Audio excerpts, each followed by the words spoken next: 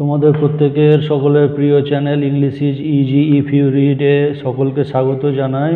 তো বন্ধুরা, আজকের থামনেল থেকে তোমরা বুঝতেই পারছ যে আমি আজকের যে ভিডিও তাতে ক্লাস ইলেভেন অর্থাৎ একাদশ শ্রেণির যে ইংরেজি বিষয়ের সিলেবাস সেই সিলেবাস নিয়ে আলোচনা করছি।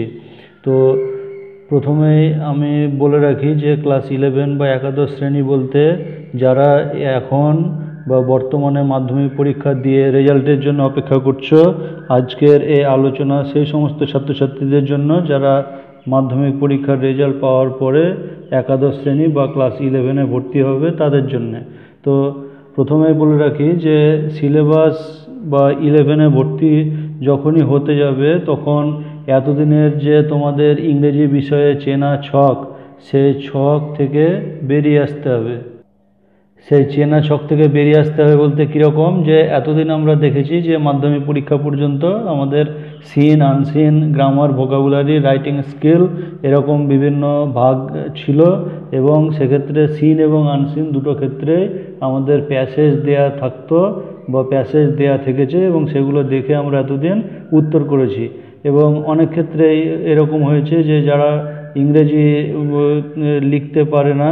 সেক্ষেত্রে প্রশ্নতে যে লাইন দেয়া আছে, সেই লাইন প্যাসেজের মধ্যে খুঁজে পেলে সেটা আমরা লিখে দিয়েছি উত্তরে, শূন্যস্থান বা ট্রু ফলস তারপরে মাল্টিপল চয়েস টাইপ প্রশ্ন অর্থাৎ বিকল্প ভিত্তিক যে এরকম লাইন খুঁজে পেয়ে উত্তর লিখে দিয়েছি, আন্দাজেই হোক বা জ্ঞানতই হোক, এবং সেক্ষেত্রে দেখেছি যে আমরা তাতে নাম্বারও পেয়ে গেছি। ফুল মার্কস না পেলেও যে বেশিরভাগ ক্ষেত্রে নাম্বার পেয়ে গেছি। তো যখনই কোনো ছাত্র বা ছাত্রী, সে যত নম্বর পাক না কেন, যে বেশি পাক বা কমই পাক, তাকে এই ধারণা ছেড়ে বেরিয়ে আসতে হবে যে প্যাসেজ তো দেয়াই থাকবে, আমি তাই দেখে দেখে উত্তর লিখে দেবো, বা এটা থেকে আমি তো খুঁজে উত্তর লিখতে ভালোই পারি।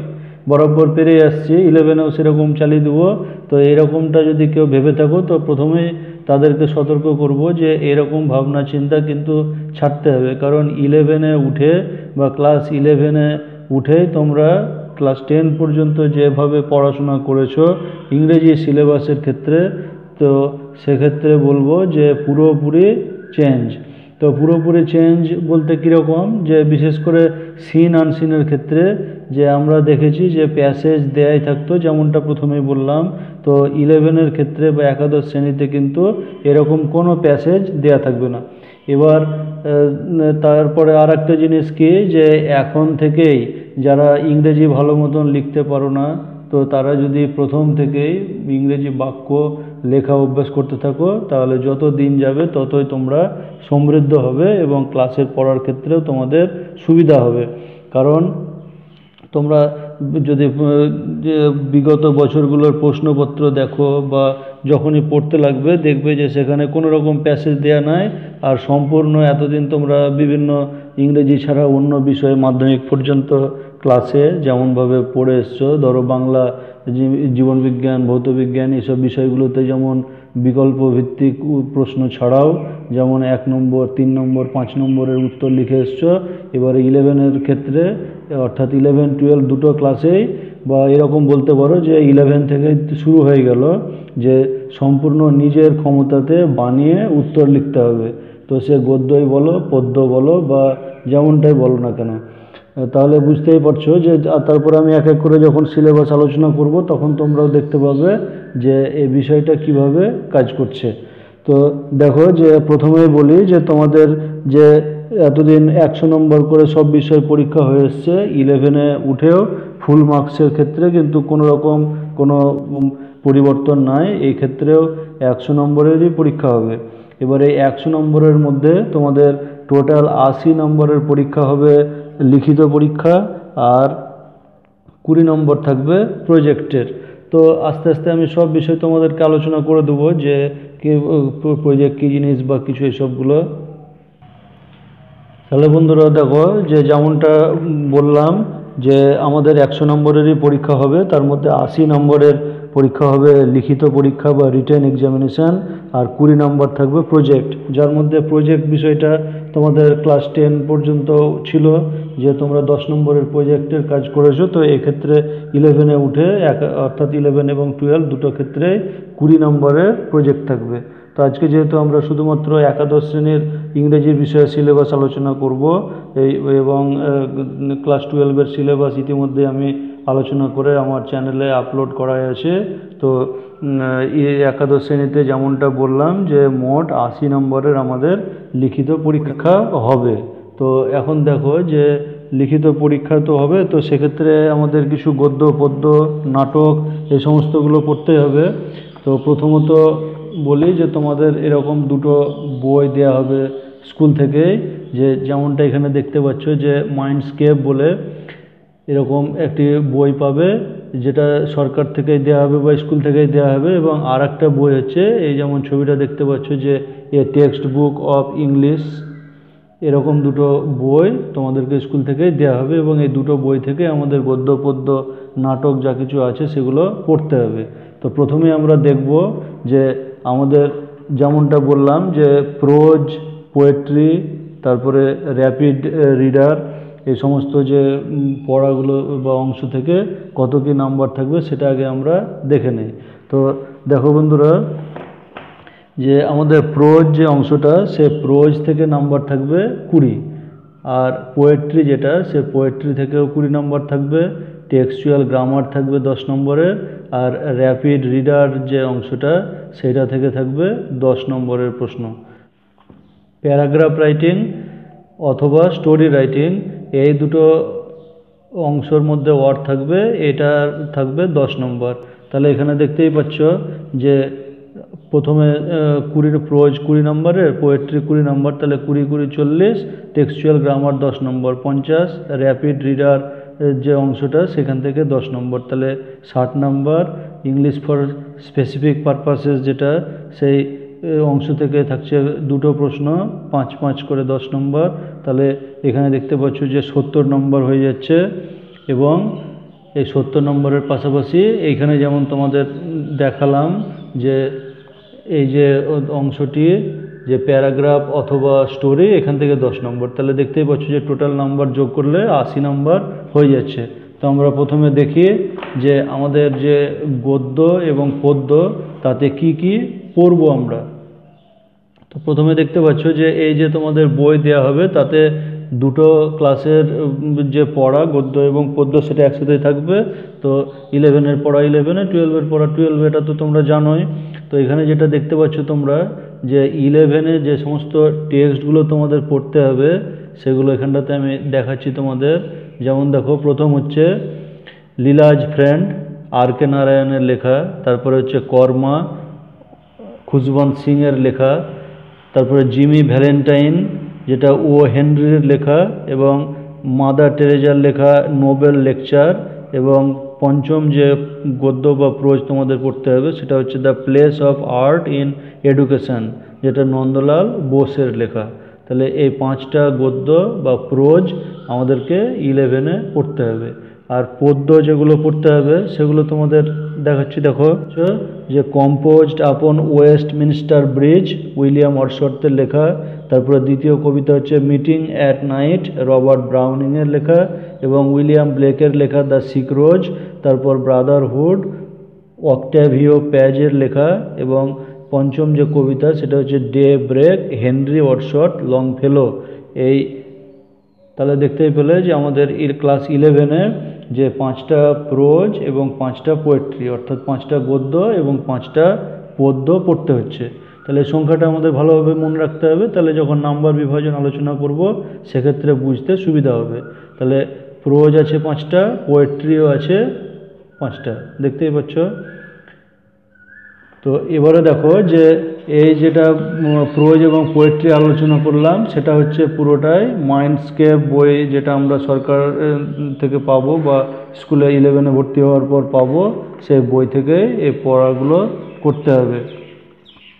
তো আমরা যে পাঁচটা গদ্য পদ্য আলোচনা করলাম, আর দ্বিতীয় যে বই হচ্ছে আমাদের a text book of English তারপরে যেটাতে rapid reader and a book on ESP and project তো র্যাপিড রিডার বইয়ে বিখ্যাত নাট্যকার উইলিয়াম শেক্সপিয়ারের লেখা পাঁচটা নাটক, যা গদ্যের আকারে পাঁচটা চ্যাপ্টারে ভাগ করে দেওয়া আছে।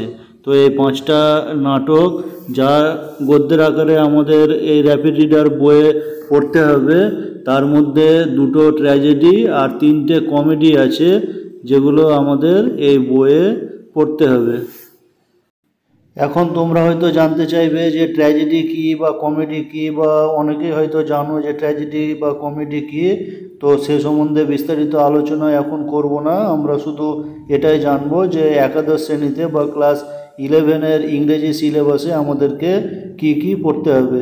তো সেই জন্য এখন আমরা শুধু এটুকুই আলোচনা করব যে ইলেভেনের ইংরেজি সিলেবাসে কি কি পড়ব? তার মধ্যে আমরা দেখলাম যে গদ্য পদ্য কী কী পড়তে হবে। এরপরে র্যাপিড রিডারে যে দুটো ট্র্যাজেডি এবং তিনটে কমেডির কথা বলা হলো, সেই ট্র্যাজেডি এবং কমেডিগুলোর নাম কি কি, সেটা আমরা এখন দেখব। কি দেখো যে চ্যাপ্টার ওয়ান হচ্ছে কমেডি অফ এরর্স পাঁচটা চ্যাপ্টার পড়তে হবে এখানে। যে কমেডি অফ এরর্স তারপরে chapter two as you like it chapter three twelfth night পাঁচ নম্বরে দেখো বা চ্যাপ্টার ফোর অথেলো আর চ্যাপ্টার ফাইভ ম্যাকবেথ এখানে দেখো যে এছাড়াও আমাদের যে অংশগুলো থাকবে, সে যেগুলো আমাদের ইলেভেনে কভার হবে, সেটা হচ্ছে যে, যেটা ইএসপি বলছিলাম আমরা, যে English for specific purpose ESP এছাড়াও চ্যাপ্টার সেভেনের যে প্রজেক্ট মেথোডোলজি অ্যান্ড অ্যাপ্লিকেশান যে আমরা যেটা প্রথমেই বললাম যে আশি নম্বরের আমাদের লিখিত পরীক্ষা হবে আর কুড়ি নম্বরের প্রজেক্ট তো প্রজেক্ট ওয়ার্ক কীভাবে কী করতে হবে, না করতে হবে, তো এই চ্যাপ্টার সেভেনে সেটা এখানে আলোচনা করা আছে। অর্থাৎ কেউ যদি মনে করো যে প্রজেক্ট সম্বন্ধে জানব বা কীভাবে কি করতে হবে, তাহলে তোমরা এখান, এই চ্যাপ্টার সেভেন থেকে জানতে পারবে। তো এখানে এবার তোমাদের মনে হতে পারে যে, আমরা আগের যে গদ্য পদ্য দেখলাম, তাতে তো সব সবেতেই পাশে পাশে লেখক, লেখিকার নাম দেয়া আছে, কিন্তু এক্ষেত্রে দেখো কোনো নাম দেয়া নেই। তো সবগুলোই কেবলমাত্র কিছু কন্টেন্টের নাম দেয়া আছে। তো এক্ষেত্রে বলব যে তোমরা এ বিষয়ে জানার জন্য তোমাদের এই মাইন্ডস্কেপ বইয়ের যে, বইয়ের প্রিফেস যে অংশটা আছে সেই অংশ থেকে তোমরা জিনিসটা জানতে পারবে যে ওই অংশগুলো কোথা থেকে নেওয়া হয়েছে বা কে লিখেছে, না লিখেছে, সেই জিনিসগুলো বুঝতে পারবে। তো এখানে যেটা বলছিলাম যে এখানে যে আমরা পাঁচটা চ্যাপ্টারের নামগুলো পড়লাম টাইটেলগুলো তো সেগুলো কোথা থেকে নেওয়া হয়েছে, কে লিখেছে, সেটা আমরা কোন অংশ থেকে পাবো। তো এখানে বলছে দেখো যে in rapid reader and a book on ESP and project learners are expose to a collection of Shakespeare's plays যে এখানের যে বইটাতে যে নাটকগুলো দেখলে, যে সেগুলো সবই হচ্ছে যে তোমরা শুনেছ নিশ্চয়ই ইতিমধ্যে টেন পর্যন্ত পড়াশোনাকালে উইলিয়াম শেক্সপিয়ার। যে বিখ্যাত নাট্যকার, তো এখানে দেখো যে William Shakespeare's plays in prose form that have been adapted from the tales from Shakespeare by Charles and Mary Lamb. তো এই অংশটুকু পড়লে পরে তোমাদের যে পাঁচটা যে নাটকের কথা পড়লে, সেগুলো তোমাদেরকে আর বারবারে পড়তে হবে না যে কার লেখা, কে লিখেছে বা কোথা থেকে নেওয়া হয়েছে, বারবার পড়ার দরকার নেই। এই জায়গাটায় তোমাদেরকে সেই ইনফরমেশনটা পুরোপুরি দিয়ে দিচ্ছে। তাহলে কি বলছে দেখো যে are expose to a collection of Shakespeare's plays in prose form যে এগুলো সবই হচ্ছে নাটক থেকে নেওয়া, কিন্তু যেগুলো গদ্যের আকারে লেখা আছে। আর সেগুলো নেওয়া হয়েছে কোথা থেকে? চার্লস ল্যাম্ব এবং মেরি ল্যাম্বের লেখা, দ্য টেলস ফ্রম শেক্সপিয়ার, এই বই থেকে নেওয়া হয়েছে। আমাদের যে পাঁচটা নাটক, তার মধ্যে দুটো হচ্ছে শেক্সপিয়ারের ট্র্যাজেডি, যার নাম হচ্ছে ম্যাকবেথ আর অথেলো, আর তিনটে হচ্ছে কমেডি, যার মধ্যে হচ্ছে the comedy of errors, as you like it, R twelve night. এটা তোমাদের মনে হতে পারে যে সিলেবাস আলোচনা করতে গিয়ে এই জায়গাটা পড়ার আবার কি দরকার? তো এটা তোমাদেরকে বললাম এই কারণে যে এখান থেকে তাহলে দেখতে পেলে যে পাঁচটা যে নাটকের কথা বলা হয়েছে এখানটাতে যে পাঁচটা নাটক, তো এই পাঁচটা নাটক থেকে তাহলে আমরা জানতে পেরে গেলাম যে এগুলো সবই হচ্ছে শেক্সপিয়ারের লেখা এবং এগুলো শেক্সপিয়ারের লেখা হলেও আমরা নাটকের আকারে পাবো না, এগুলো পাবো প্রোজ ফর্মে তো এরপরে দেখো যে আমরা যে কুড়ি নাম্বার তাহলে প্রথমে তোমাদের বললাম যে প্রোজ থেকে থাকবে কুড়ি নম্বর আর পোয়েট্রি থেকে থাকবে কুড়ি নম্বর টেক্সচুয়াল গ্রামারের দশ নম্বর র্যাপিড রিডার যে অংশটা যেটা তোমাদের বললাম এতক্ষণ হচ্ছে যে এখান থেকে থাকবে দশ নম্বর আর ESP English for specific purposes যেটা, সেখান থেকে থাকবে পাঁচ নম্বর আর পাঁচ নম্বর দশ নম্বর তাহলে এখানে দেখতে পেলে, আর আর একটা যেটা অংশ, যে প্যারাগ্রাফ অথবা প্যারাগ্রাফ অর স্টোরি রাইটিং এই অংশ থেকে থাকবে যে দশ নম্বর। তাহলে আশি নম্বর হয়ে যাচ্ছে। এবারে আমরা দেখব যে আমাদের যে প্রোজে কুড়ি নম্বর পোয়েট্রিতে কুড়ি নম্বর বলছি, সেগুলোতে কোথা থেকে কীরকম প্রশ্ন আসবে? তো রোজ অংশের প্রথম যে পাঁচটা প্রশ্ন বা পাঁচ নম্বর, সেটা থাকবে এমসিকিউ টাইপ তোমরা এমসিকিউ টাইপের প্রশ্ন মাধ্যমিক পর্যন্ত পড়ে এসছো, তো সেই এমসিকিউ টাইপের প্রশ্ন থাকবে পাঁচটা। এবং এই পাঁচটা প্রশ্ন থাকবে, পাঁচটা গদ্য থেকে। এখন আমরা পুরো প্রোজ অংশের আলোচনা করছি, যে প্রোজের কুড়ি নম্বর কীভাবে ভাগ করা থাকবে। তাহলে পাঁচটা, এটা আবারও বলছি বা ভালো করে মনে রাখবে, তাহলে সিলেবাসটা বুঝতে বা নাম্বার বিভাজনটা বুঝতে সুবিধা হবে, যে প্রোজ আছে পাঁচটা পোয়েট্রি আছে পাঁচটা, অর্থাৎ গদ্য আছে পাঁচটা, কবিতাও আছে পাঁচটা। তাহলে এখন আমরা প্রোজ অংশের কুড়ি নম্বর কীভাবে ভাগ থাকবে সেটা আলোচনা করছি। তাহলে প্রোজের যে পাঁচটা প্রোজ থেকে পাঁচটা এমসিকিউ যে মাল্টিপল চয়েস টাইপ কোশ্চেন কোনো বিকল্প থাকবে না, পাঁচটা প্রশ্ন থাকবে, পাঁচটাই উত্তর করতে হবে। তাহলে এরকম চলে গেল পাঁচ নম্বর। এরপরে থাকবে কি যে শর্ট অ্যান্সার টাইপ কোশ্চেন যে এক সিঙ্গেল সেন্টেন্সে উত্তর লিখতে হবে।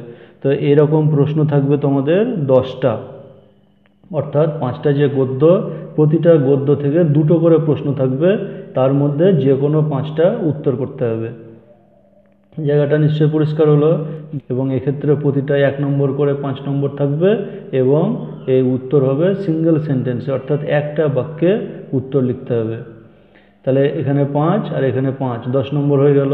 এবারে দেখো, পরের পরের দশ নম্বর ভাগ হচ্ছে এরকমভাবে যে দেখলাম আমরা পাঁচটা গদ্য আছে, সেই পাঁচটা গদ্য থেকেই পাঁচটা প্রশ্ন থাকবে। এবার ওই পাঁচটা প্রশ্নের মধ্যে যে কোনো দুটো প্রশ্নের উত্তর আমাদেরকে করতে হবে। আর এই উত্তর লিখতে হবে আমাদেরকে একশো শব্দের মধ্যে। তাহলে বুঝতে পারলে নিশ্চয় যে প্রথমে থাকছে এমসিকিউ তারপরে থাকছে পাঁচটা গদ্য থেকে দুটো করে মোট দশটা প্রশ্ন, যার মধ্যে আমাদের পাঁচটা করতে হচ্ছে, এবং এর পরে এবং প্রতিটা প্রশ্নের মান এক করে, এবং এরপরে থাকছে যে প্রতিটা গদ্য থেকে একটা করে প্রশ্ন নিয়ে মোট পাঁচটা প্রশ্ন থাকছে, তার মধ্যে যে কোনো দুটো উত্তর করতে হবে। এবং এক্ষেত্রেও কি করতে হবে? যে প্রতিটা প্রশ্নের মান হচ্ছে পাঁচ করে এবং টোটাল দশ নম্বর হয়ে যাচ্ছে আর এই প্রশ্নের উত্তর লিখতে হবে একশো শব্দের মধ্যে। তাহলে এখান থেকে বুঝতেই পারলে যে শব্দ লিমিট ওয়ার্ড লিমিট দেওয়া থাকবে এবং এই এমসিকিউ ছাড়া বাদবাকি যে অংশ দেখতে পাচ্ছ সেগুলো পুরোপুরি নিজেকে বানিয়ে লিখতে হবে। আর এটা অবশ্যই মাথায় রাখবে যে কোনো প্যাসেজ দেওয়া থাকবে না। কি গদ্য, কি পদ্য, কি নাটক বা র্যাপিড রিডার কোনো অংশ থেকে কোনো প্যাসেজ দেওয়া থাকবে না। সুতরাং নিজে নিজে যত তাড়াতাড়ি ইংরেজি লেখা প্র্যাকটিস করবে, তত তাড়াতাড়ি উপকৃত হবে। তাহলে আমাদের এখানে পাঁচ আর পাঁচ দশ, আর এই দশ নম্বর, কুড়ি নম্বর এখানে পুজে গেল। এরপরে দেখো যে পোয়েট্রি যে পাঁচটা, সেখান থেকে কীভাবে, কি প্রশ্ন থাকবে? তো পোয়েট্রিতেও ঠিক একই রকম, যে এমসিকিউ পাঁচটা কবিতা থেকে পাঁচটা এমসিকিউ প্রশ্ন থাকবে এবং যেগুলো হচ্ছে পুরোপুরি বিকল্প ভিত্তিক, অর্থাৎ চারটে করে অপশান থাকবে, সঠিক উত্তরটি বেছে নিয়ে লিখতে হবে। এক নম্বর করে পাঁচ নম্বর। এবং ঠিক একই রকম আগের মতনই পাঁচটা কবিতা থেকে প্রতিটাতে দুটো করে নিয়ে পাঁচটা থেকে দশটা প্রশ্ন দেওয়া থাকবে এবং আমাদেরকে যে কোনো পাঁচটা প্রশ্নের উত্তর করতে হবে। এক্ষেত্রেও প্রতিটা প্রশ্নের মান এক এবং সিঙ্গেল একটা বাক্যে উত্তর লিখতে হবে।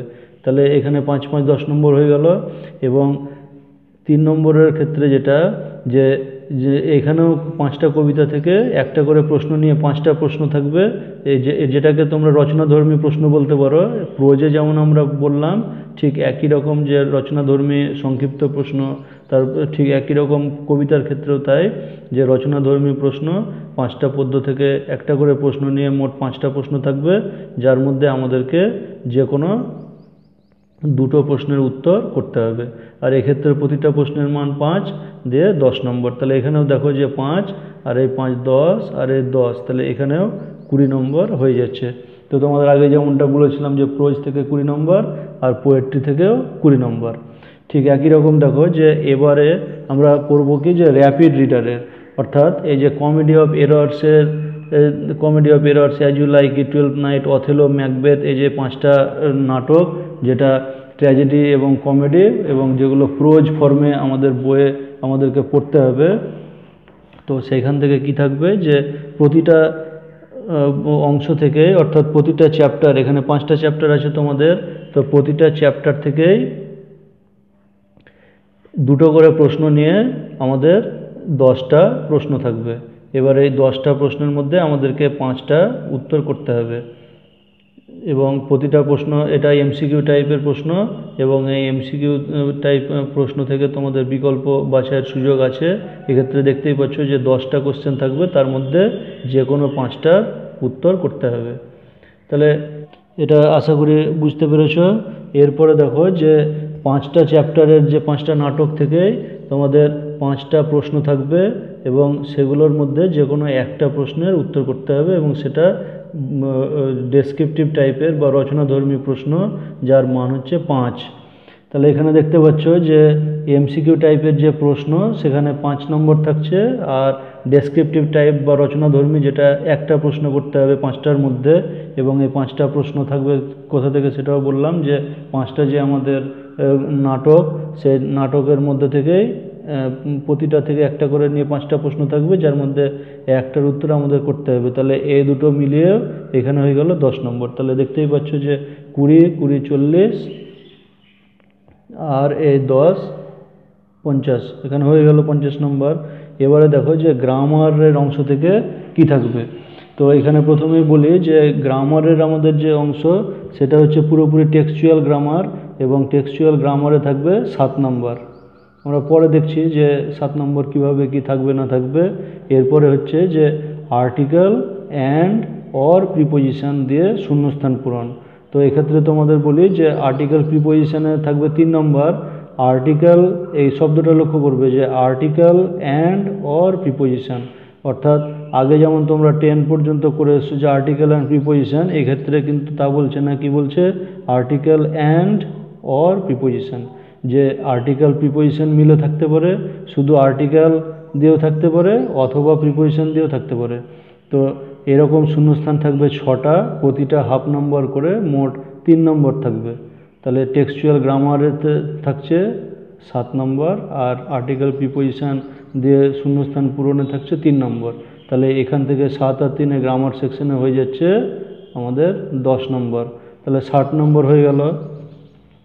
এরপরে দেখো যে পরের যে অংশটা, যে আমি এর পরে তোমাদের ডিটেলস বলছি যে গ্রামার অংশে ডুয়েজ ডাইরেক্টের যে যে সাত নম্বর এই সাত নম্বর কোন অংশ, কি কি প্রশ্ন থাকবে না থাকবে সেটা আমি পরে আলোচনা করছি।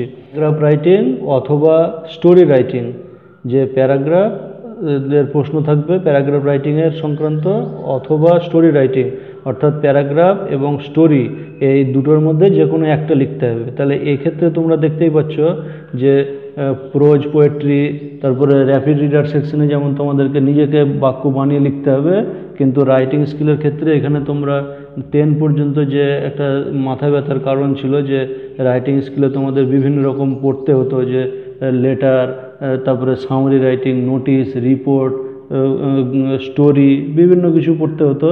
এক্ষেত্রে সেরকম কিছু নয়।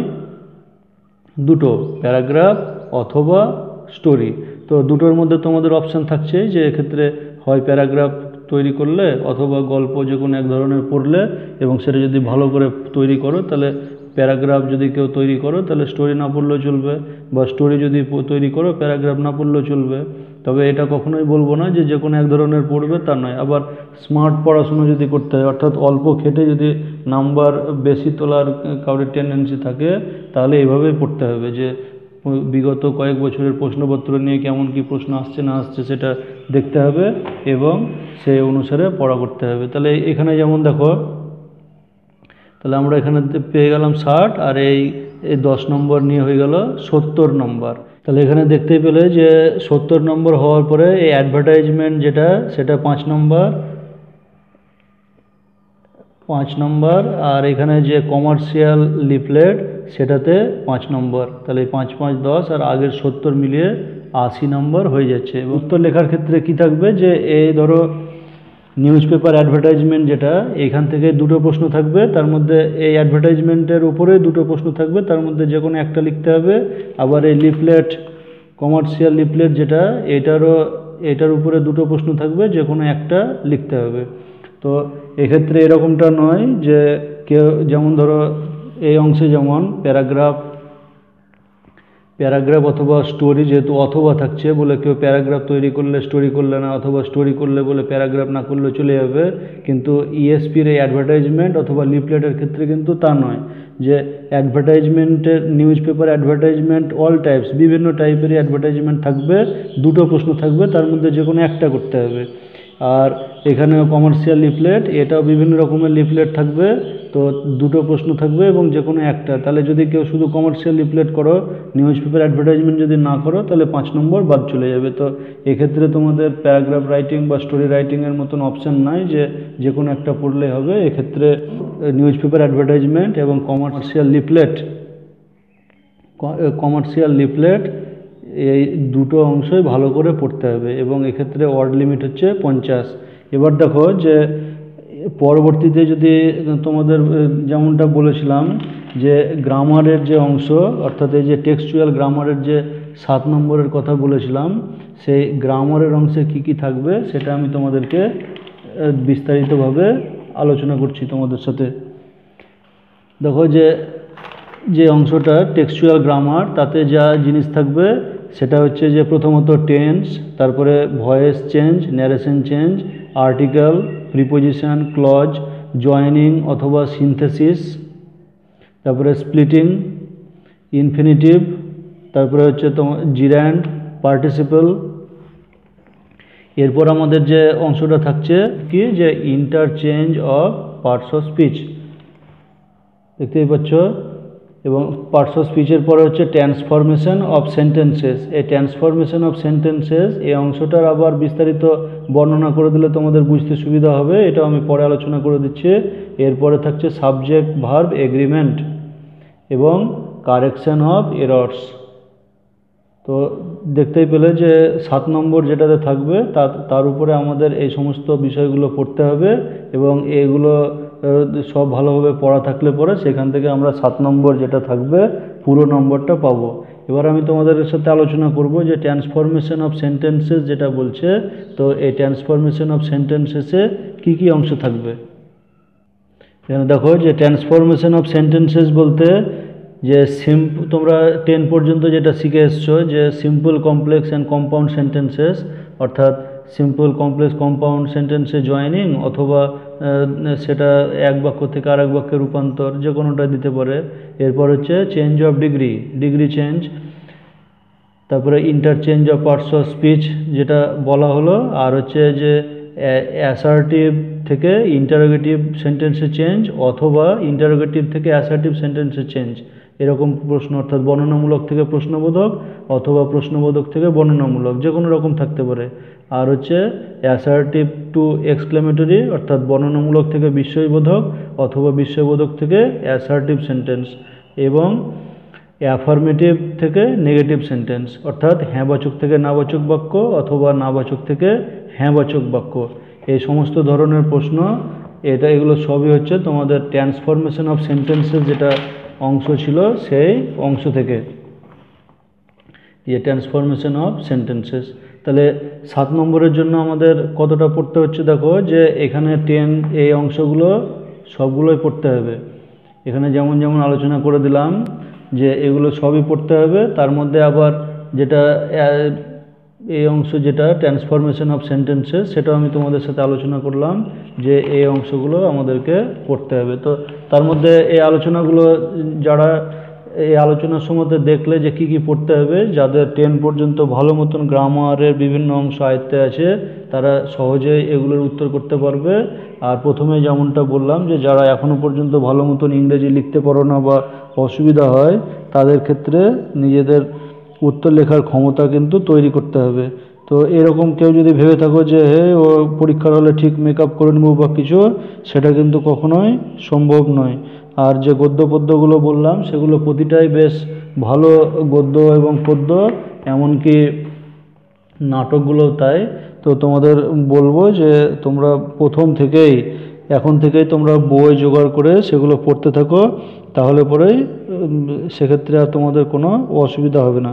এবার দেখো যে ট্রান্সফরমেশন অফ সেন্টেন্সেস তাতে তো আমরা বিভিন্ন রকম অংশ দেখলাম, যে কি থাকবে না থাকবে সেই সব বিষয়ে তোমাদের সাথে আলোচনা করলাম।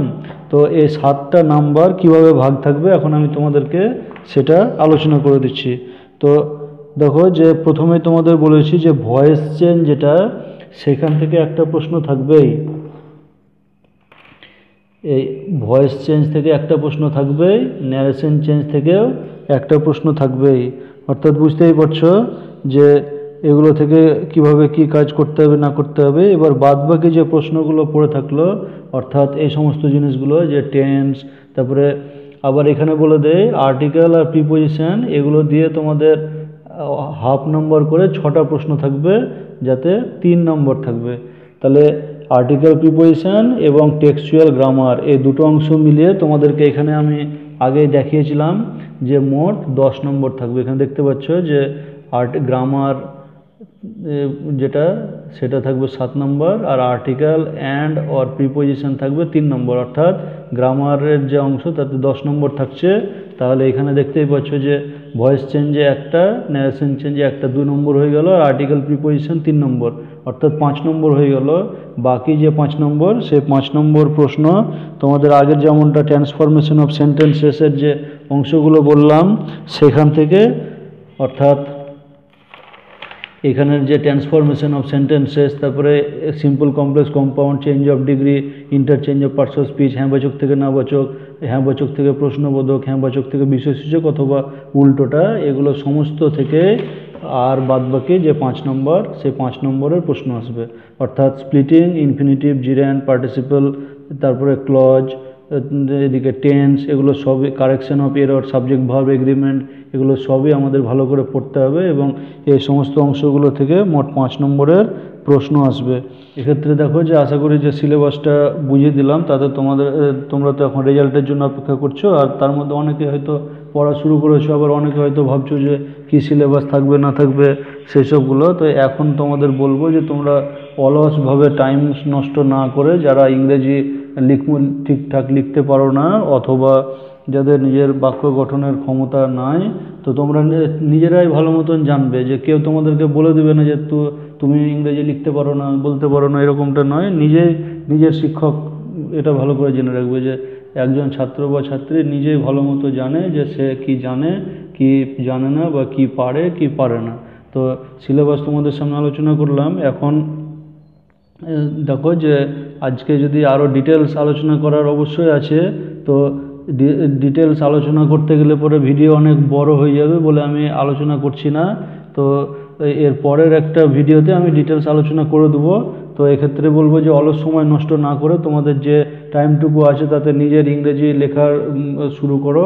সে, সেরকম হলে আমার চ্যানেলে দেখো যে বাংলা থেকে ইংরেজিতে অনুবাদ, তা কীভাবে কী করবে, তারপরে অন্যান্য যে বাক্য সেগুলো আলোচনা করা আছে, সেই ভিডিওগুলো দেখতে থাকো। তাহলে তোমাদের যে নিজস্ব লেখার ক্ষমতা, সেটাও বেড়ে উঠবে এবং তোমরা ইলেভেনের পরীক্ষা আস্তে আস্তে নিজেদের যে লেখার ক্ষমতা, সেটাও তৈরি করে ফেলতে পারবে। তো সিলেবাসটা দেখে যদি আজকের যা ভিডিও সেটা দেখে যদি কোথাও অসুবিধা হয়, তাহলে আমাকে অবশ্যই জানাবে এবং ভিডিও কেমন লেগেছে, সেটাও জানাবে। ধন্যবাদ।